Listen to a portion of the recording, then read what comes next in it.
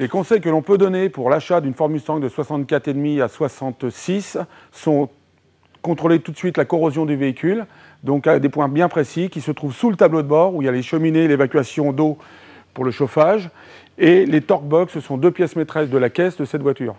Car il faut bien savoir que la caisse est autoporteuse, il n'y a pas de châssis.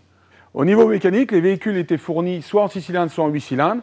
Il faut savoir qu'avec le 6 cylindres, vous n'aviez pas le même train avant et pas le même train arrière. Vous aviez 4 goujons de roue pour fixer chaque roue.